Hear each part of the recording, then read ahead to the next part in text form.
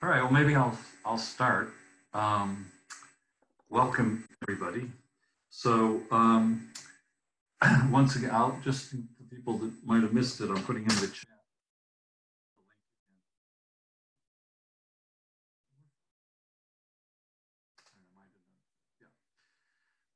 So I'm going to share the screen and get started.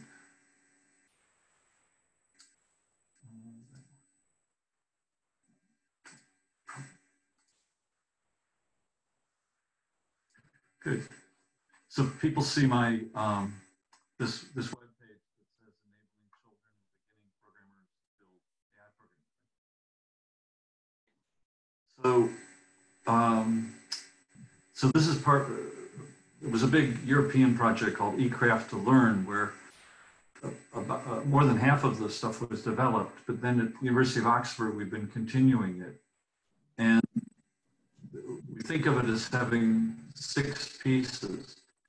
There's um, extensions to Snap for various ways to do speech synthesis, other ones for speech recognition, image recognition, and then there's ones of having to do with natural language processing um, and um, various miscellaneous ones that sort of take um, machine learning models and make them available to use in your SNAP projects.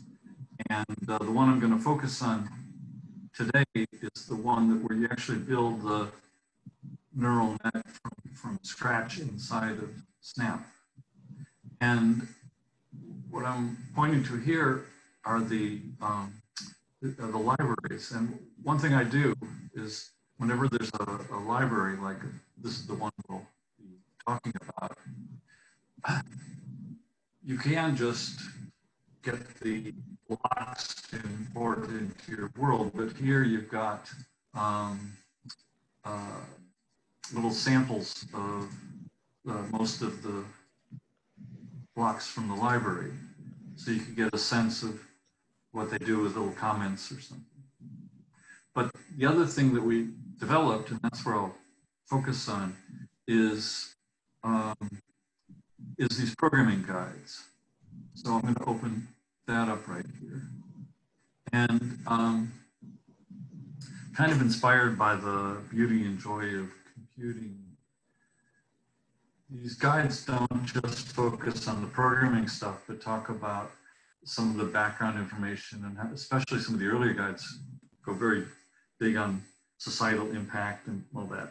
But what I found when working with students sometimes is it's hard to sort of, uh, that can be distracting.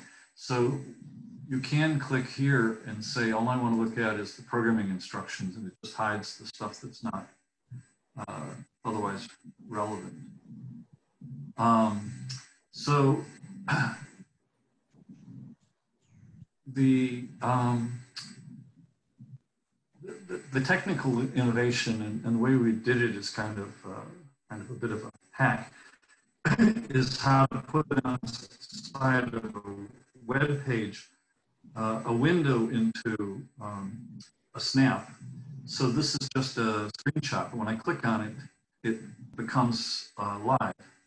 And sometimes being inside of a web page isn't what you want, so there's a, a block that'll just open this up in a new tab. And maybe I'll do that right now just to make things easier to see.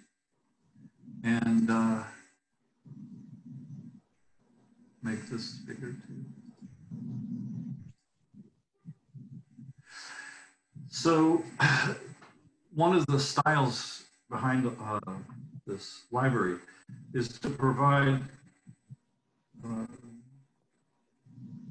simple versions and then full featured versions of most things. So this this is mostly showing the, the sort of simple versions and they don't actually work very well for this particular problem.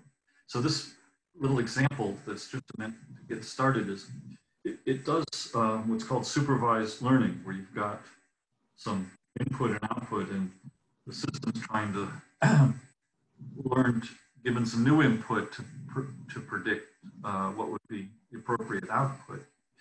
And in general, this could be, you know, classifying text or images or uh, predicting all sorts of things.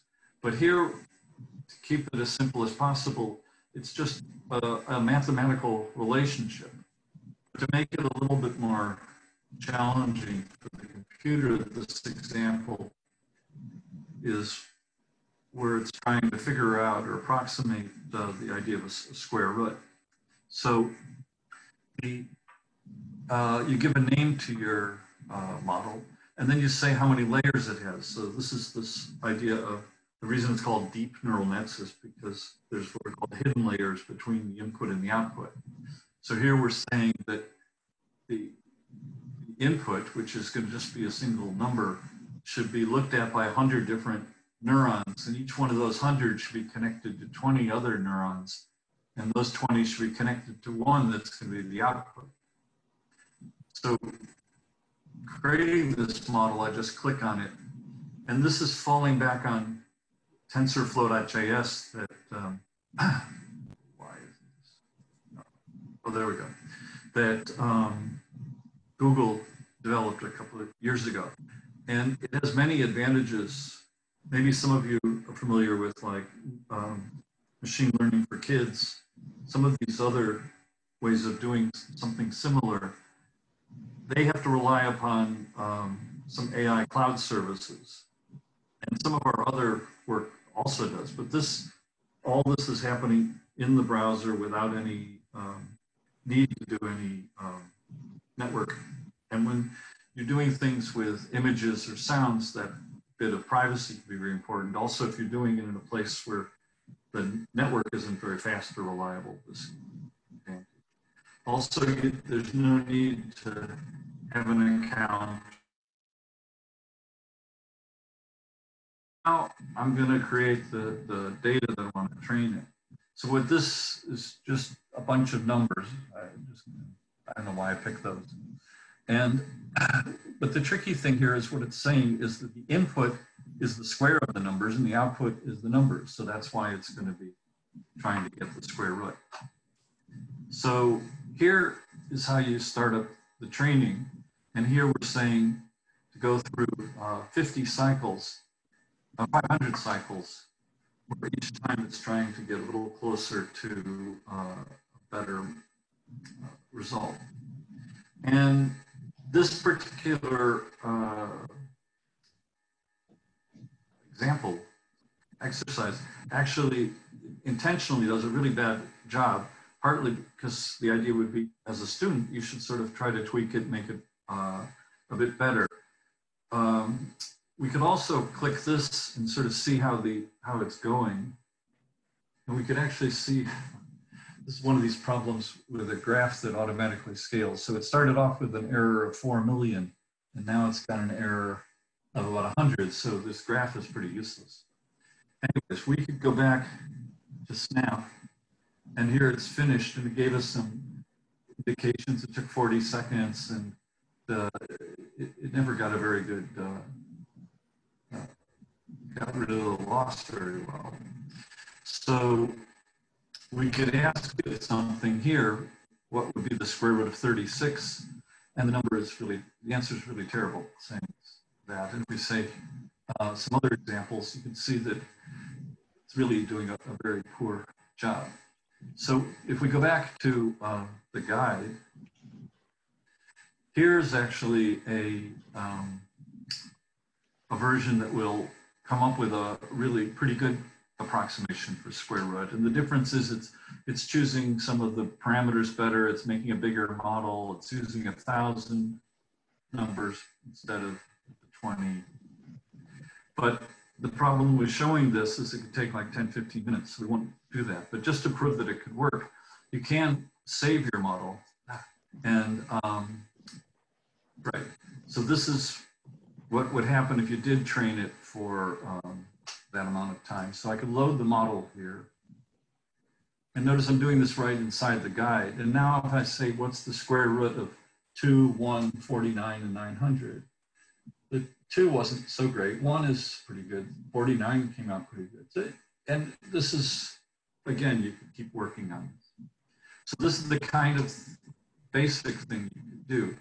But before I kind of uh, encourage all you to start playing with it and I'll be around to help, I want to give a better, a bigger sense of what are all the other possibilities on this page.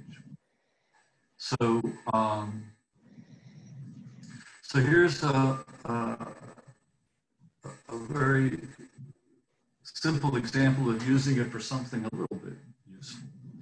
So maybe I'll start it up because it takes, oh, maybe I'll start it up in a, uh, oh, here it is, in a new tab just so we could see better. Uh, sometimes it remembers that I like a larger. All of these work in the, this, the Snap standard release. Again, the only reason it's using a clone is, is to make it work, interact better with being um, embedded in a web page. So I'll, I'll, explain what this does in a minute, but I wanted to start it up because it takes um, a little bit of time. So what this program did was, was it creates um, just some random numbers with a particular hue and saturation and brightness, these three numbers. And then um, it goes through them one by one, asking you to give a name to those colors. So it's a bit tedious. So that's one reason it starts off where I've already named 50 of them or something. But if somebody wants to go further, they could have any number of examples and use their own. And what, what it's doing right now is very much like what we saw a minute ago with square root. The bigger difference is that it's taking in three numbers and producing um, a number that's really an index into a, a list of, of, labels, essentially. A little trickier than that, but it's all kind of packaged up in this way. And um, now it's ready. So every time I hit the space bar, it should try to name the, the new uh, color. It's not doing very good. it thinks that's purple. That is purple. I don't. I have. Um, it says it's got a good accuracy. I don't know why today it's um, doing a terrible job. But what it's supposed to do here is uh, pick a new random color, completely random, and then uh, ask it uh, come up with a name for it, which is basically um, running the model and seeing what how confident it is for the different uh, values. So sorry that today it does say that the, uh, the loss here was pretty high. Yeah. I don't know why. I, one thing you, you have to understand about these neural nets is they start off with completely random weights and then the, the training tries to improve them. And you find, I find that less than 10% of the time, it just starts off with really screwy weights and it never managed to learn. So it could be that if I click this again in 30 seconds, it'll come up with a better one. But uh, I'd rather have you guys play with it. So let me give you a bigger overview and hopefully you can imagine how this one works. By the way, I'm open to questions, but I don't uh, see anything yet. So, um, so this one is one I, I, I very much like, and it's also kind of fun to play with it. So what um, what it does is it it's um, it generates uh, a random image, and it's just doing kind of forward some random amount, turn some random amount, change color some random amount, change your pen width, that kind of a program. And I could say, well, this is average, so I'll give it three stars. And then when I don't like very much, I'll give it one star.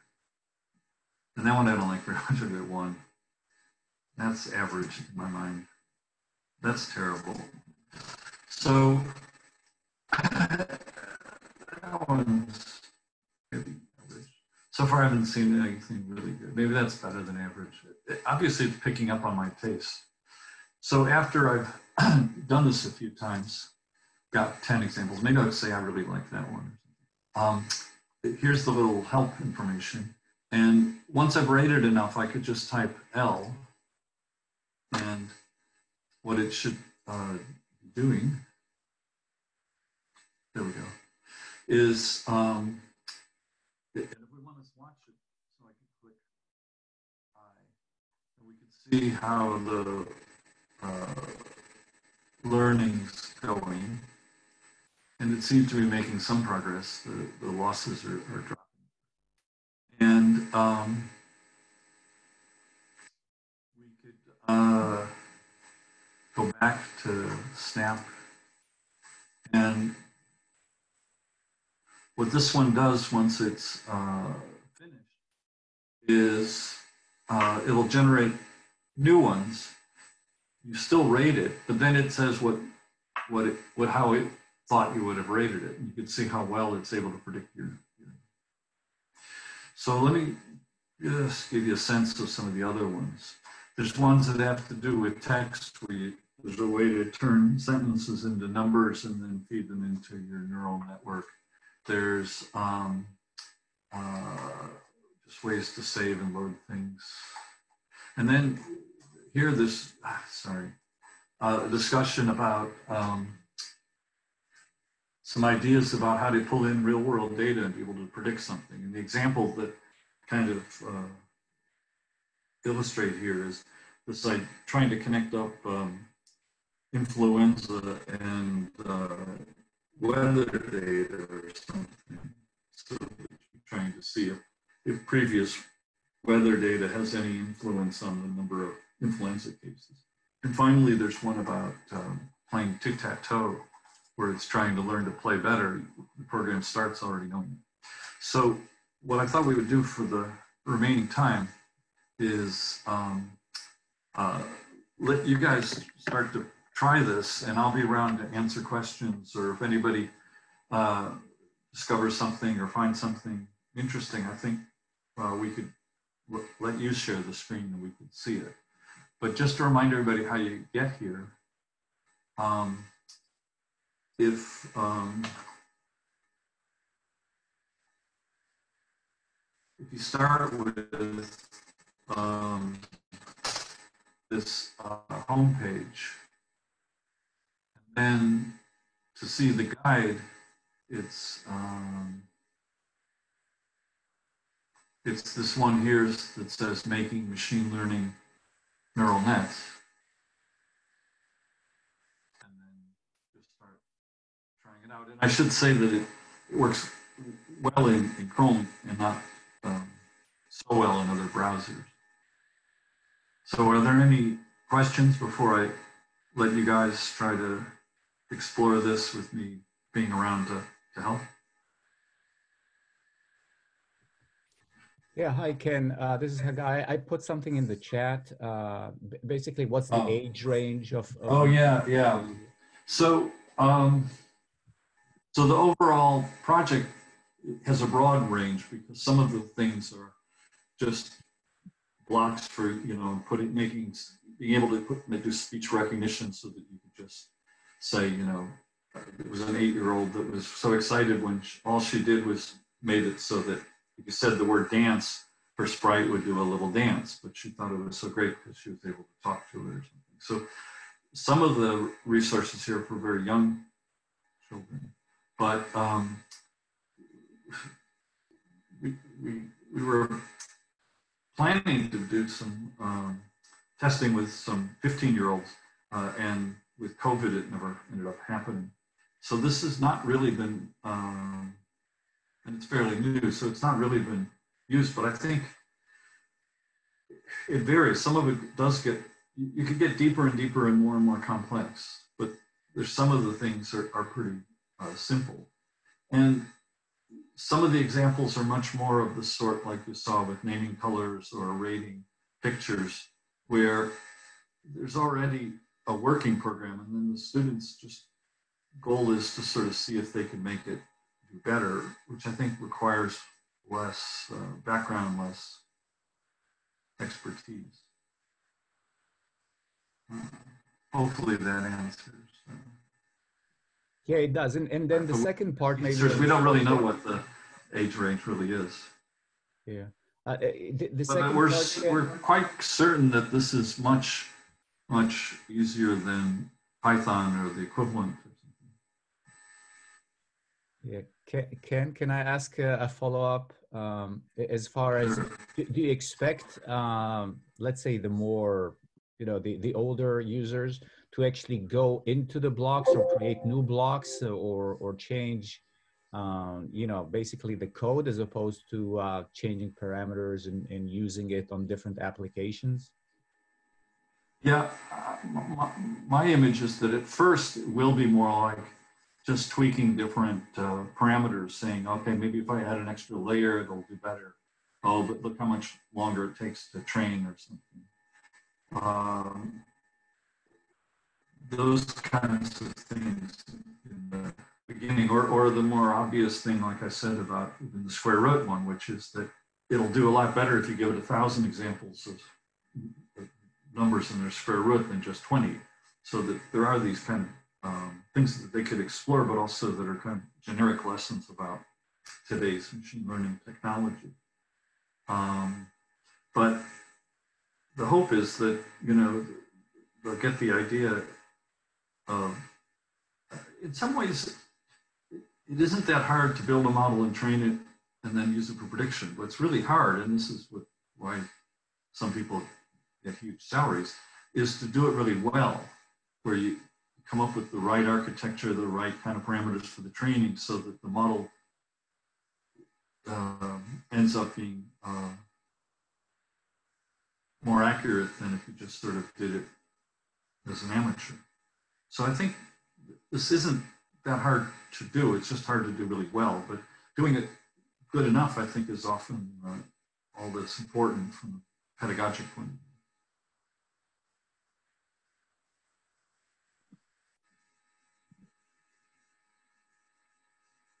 Oh, it's good. Some people have already uh, trained the square root. So Ken, is this something that only runs browser-based or can it be run locally? Yeah, so the, we have a, a link actually right here somewhere on the front page or something about how um, about how you can um, just like with Snap, you could download the whole thing. But you could download Snap as well as I mean, you have a, so, so you're basically running it off of your uh, local web service that server, which could just be on your laptop. So there's no need to have a network connection once you've downloaded everything to your uh, local file system. Um, yeah, somewhere here, I thought I had a. Is it on this teacher guide page? Saying about um, the offline version.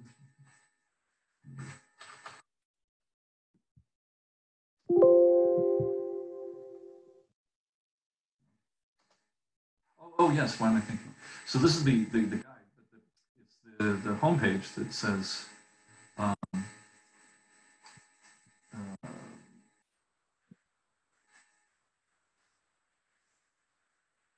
yeah, it's possible to download the files and, and run all of the, Okay. um, the, but some of the other ones in this library do require a network, but most of them don't. So you can download everything and run it uh.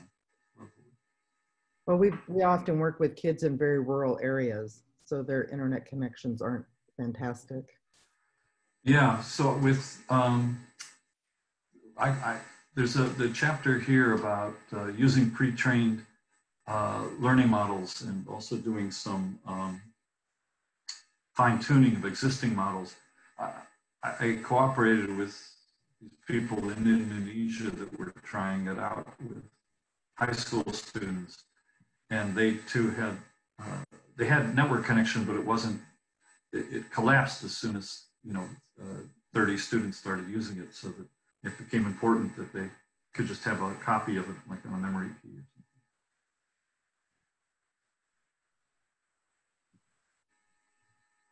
something. Um,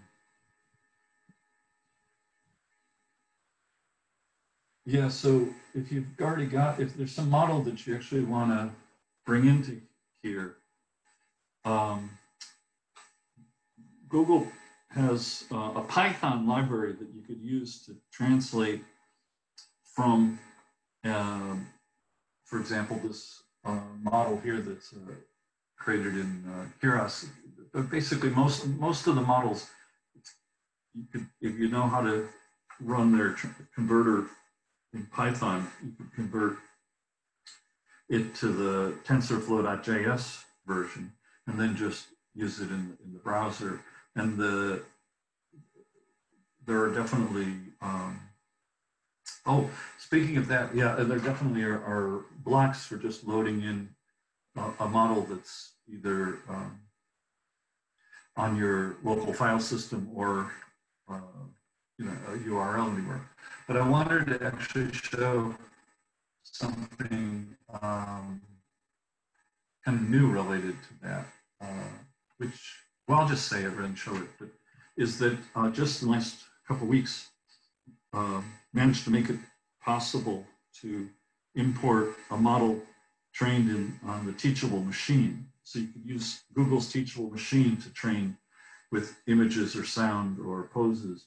Well, poses isn't quite working because there's a version problem, but the other two work fine. And you can um, uh, download the model First off, the Google lets you save the model either on your local disk or on their server, and then you could uh, bring it into um, Snap and use it in your projects. Oh, the one you're pointing to already is a TensorFlow.js uh, model. So it should be the case that, um, let's go back to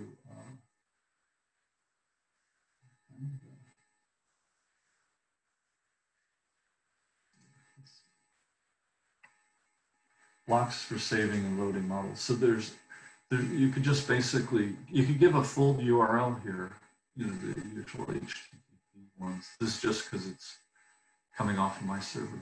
Um, so if you if you find a URL to the model, you should be able to just load it right in. Um, oh yeah, the confident program is so there's a a, a block that it relies on that's also provided by Google that, um, I mean, there's a, the block I did, but the underlying model that the block relies on is called the Universal Sentence Encoder. And it can take any sentence and turn it into 512 numbers. And once you have 512 numbers, then you could uh, train it where you say these 512, the way I did it with the confident one is that there were example sentences that either got a one if it was very confident, a minus one if it was very um, opposite of confident, whatever it is. Uh, and, and, a zero if it was just neither one, neutral or something. And then trained it with uh, 30 or 40 or 50 of those examples. And, uh, and then it comes out when you give it a new sentence with uh, confidence scores for those three categories, you know, confident, uh, unconfident, or neutral. So that's how that one worked. Um,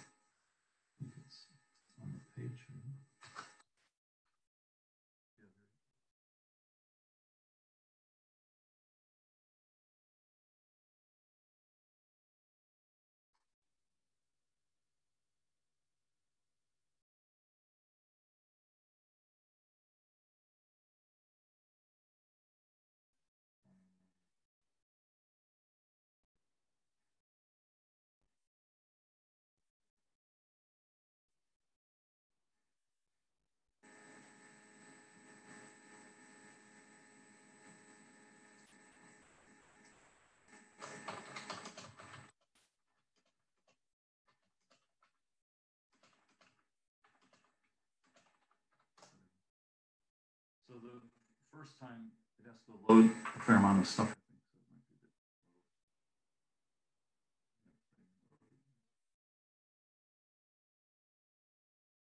And the funny thing about this one is that sometimes it'll say you're 103% confident just because it, uh, the, the way the scoring works.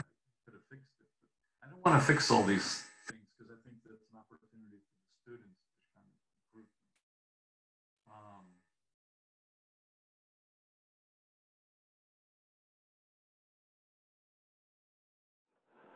Um, So let's see if, are there uh, some questions that have come up here? Uh, Mostly Whenever I'm looking at trying to this help with the audio. because we work with kids from kindergarten to 12th grade in our business. Mhm. Um, mostly our goal is not about the technology, although that's the tool. We want to get kids into this innovation mindset, this idea of exploring and trying and doing things. Um, I teach computer science. My husband's a physicist, so you know we, we're heavy on tech and science. But I'm also looking because I teach CIS at a community college, and have for 23 years. Um, how I can bring this into my students there also. So my head's been exploding for like three days with all the ideas. Um, Right, right. And this looks like this would span at least upper high school, college level. Yeah, I mean, that's the hope. Um, some of the other material on the website has been tried with, with uh, you know, hundreds of students from different ages, but but the stuff I'm talking about today really has barely been um, tested with real students and stuff. So is there a, a, a different website link or are you talking about the document that you? Well, so you know the, the, the what I call the home page that we started with. It it I think of it as having six chapters. Okay. Um, one thing I'm wondering, by the way, when I was doing this is does does Zoom when I switch tabs, Zoom follows the new tab, or has everybody been only Uh, seeing the original tab? If you're sharing the browser window, it'll follow the tabs. So that's what it's been doing. Yeah, I think so. I'm not sure which one I picked browser. when I. I can see your browser with all the tabs. Okay, good, good. Um,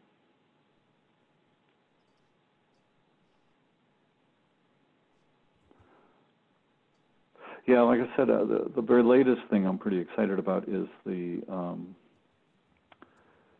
the fact that I the latest version of the Teachable Machine lets you export models you've trained there, and then they just worked right away in uh, Snap, and it was really easy to make a simple example of where some gesture would cause the turtle or the sprite to go left or right, you know, depending on whatever gesture you, the two gestures you trained or something, or or spoke, you know, it all just worked very straightforwardly. So that kind of a thing, I think, much younger kids could easily do. I mean, it's a lot like what the machine learning for kids does, but you don't need to have an account or uh, have a good network connection or anything.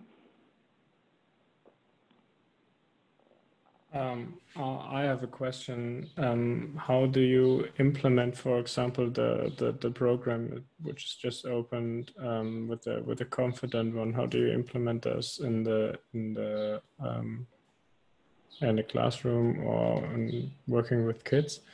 So do you have like a not fully completed code and they have to recreate some parts? Ah, right, right. Yeah, so we we haven't been. I, I'll, maybe I'll explain. Well, I, I think our, our our attitude is to create a, a lot of variety of resources that people could then adapt to whoever they want to teach.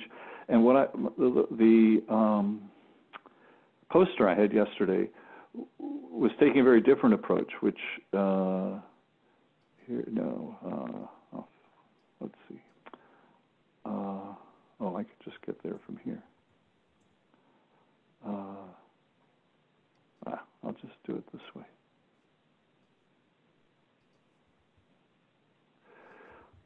So the the, the poster that I had yesterday was, uh, isn't it? was presenting the students with a lot of um, sample programs that are where, where was they're very much designed to be extended and improved. So there's some that deal with speech input and output. There's ones that have to do with uh, combining speech with access to some web service like Wikipedia or Yahoo Weather. Um, and then there's ones that have to do with um, fine tuning uh, some existing model where you could add some new examples or new categories.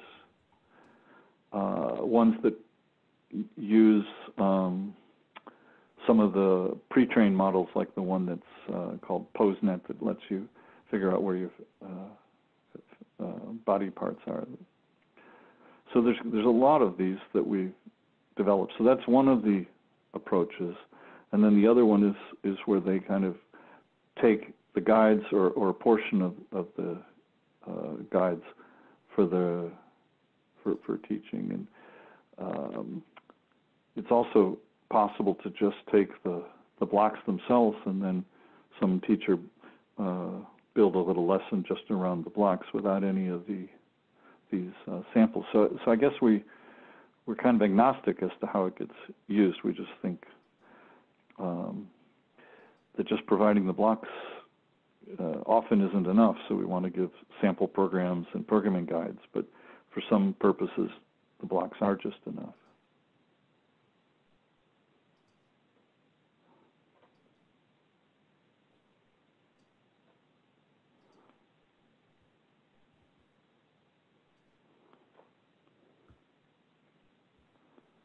Um, Ken, how do you insert a running program? How do I uh, uh, do what with a running program? I didn't hear. all of it. Insert it into the document. Oh, oh, into the document. Yeah. So, um, actually, I should find out whether with, wanna uh, do it. Snap six if this is a. Yeah. I, I, I think people should send me emails because I, I kind of did a little custom solution and and um, it, it, all that I had to change in Snap was just the um, the home page, basically, the one that kind of loads all the other ones. Um, and then I there's a little bit of JavaScript that will uh, allow you to do it. But I could uh, um, let me uh, if people, I mean, it is something that I tried, by the way, to just do it directly in um, in Snap with uh, the, the release version of Snap, and um, the problem is you, you, it just started. It just was so so incredibly slow because um, even though in theory you could have multiple snaps on a page, they just didn't uh, work very well. And then to be able to to to to just see the part that you want and so on.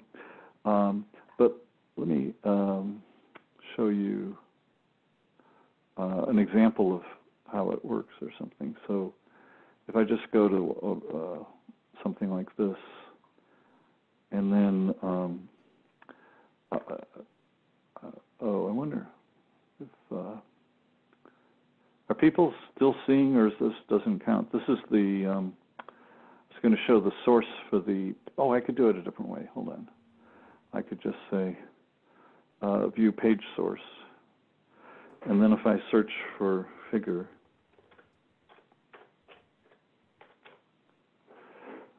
So this is pretty much what I have to just stick in there assuming you, the top of the page pulls in my uh, JavaScript library. So you're just basically saying, giving it an ID which corresponds to the to the name of the um, model and something about how wide and how tall you want and what caption, and then it just puts it there. Um, so, but I think if if anybody wants to to do this, send me email and I'll give you more help with it because I never did it in a in a release kind of way. I did it in a way to just uh, support my own projects. But it is pretty straightforward once you've got everything set up that you just uh, use something like that.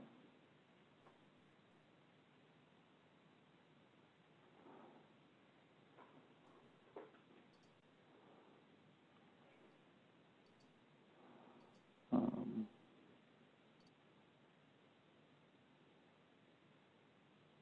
Hi, so maybe this is an easier question. Um, if you want to do the same with the neural net that learns the square roots, and then you want to move to the better model, that is the next one in the examples, and, but you want to launch that in its own tab. Um, it doesn't, the, the block for that isn't there in that example. Is there any to move that block, um, given that it's in the web browser or to do?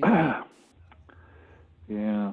Or, just, Um, or can, or does the project, can the project just be loaded from the? from the Oh, yeah, yeah, so the, all these project, projects, uh, oh, yeah, they're, they all have, they've all been shared on the S- Snap website, but they haven't been published, so that means that you'd have to know the URL. Um, So specifically, yeah, so specifically, if I'm sitting here right now and deciding that the, the, the. I mean, for right now, what I, I could obviously, I could just load, here, I'll just load it into Snap and put the URL in the, um, Okay. Because in it's the chat, like but that model, the, the sort of naive model, the, f- the, the introductory model that you have. for the Right. root, It's, not only is it, of course, not super great at figuring out square roots, but it, it's always low. And like, you could sort of play around with whether the Yeah. training data is doing that or, or what. But it seems at that point, interesting to move to the next one that you call, it's like, well, I don't know what, what you name it, but the second one that you, and the, the one that you showed right, us. right. And I just was So the second, second one, by the way, I just put, put the URL in the chat, so you, you, you could get to it in a full screen. Okay, um, and is the only way to, and that, that, that openness in a new tab feature that you have, if you wanted to use that, is the only way to use that to like go to the source? Oh, you can't even do that. This, there's no real, there's no real way to move a block from one web snap to another. Yeah, so, so what I, I've, I mean, yeah, what, I have to do the, you go to a project that has it, then you say export blocks, then you select none, and then you select the one that says open in a Oh, new tab, and then import it into the one that's missing it or something. Um, so it, it's, it's, yeah, you, you could do it, but it's clumsy. Um, so I forget, uh, uh, the end time, is it, are we ending or we have another eight minutes? What's, Uh, you, you should have until nine o'clock. Yeah, it's eight to nine. okay, right, right, okay, good. And then a 10 minute gap before we start at 9:10 for the young thinkers. Oh, right, I knew there was a ten-minute gap, I just was confused about when it started. Um, so one thing I should maybe mention is, um, what's missing in some sense. So, you know, machine learning also includes, um, these, what are called sequence models, where you, you, you know, like, um, well, the famous one now is GPT-3, which of course can never fit in the browser because it's got 175 billion parameters or something. But these ones that are kind of uh, um, focused on, um, well, the, the, what am I trying to say? There's some classes of, of models that are popular that I haven't really provided support for. Like I don't even have anything for convolutional nets or for these uh, recursive um, neural nets or these new things called transformers. There's a lot of things that I keep reading about and thinking about, and also some of them TensorFlow.js could support, and some of them uh, it'd be uh, difficult. But the point is that it keeps evolving and growing, and like I said, the, the most recent thing that I'm quite happy with is that you could take teachable machine models and just bring them right in and use them in your projects. Uh,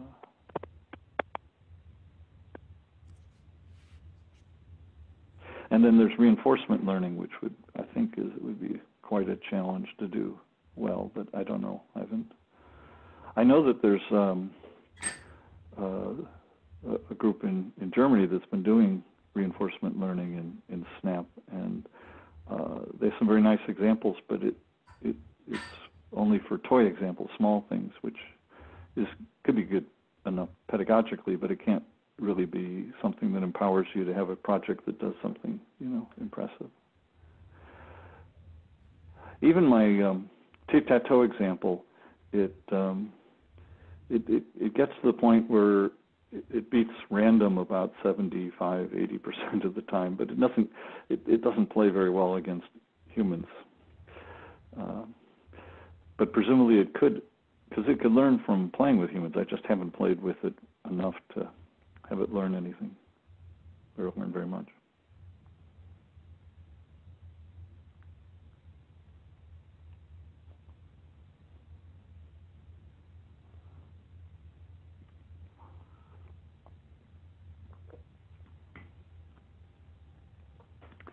Uh, yeah, somebody's asking about reinforcement learning. So yeah, I'm reading about it and thinking about it, but um, and I have very little experience with those models, and I've heard that it, it sometimes could be uh, even much more resource intensive than the kinds of things we've been showing. Um,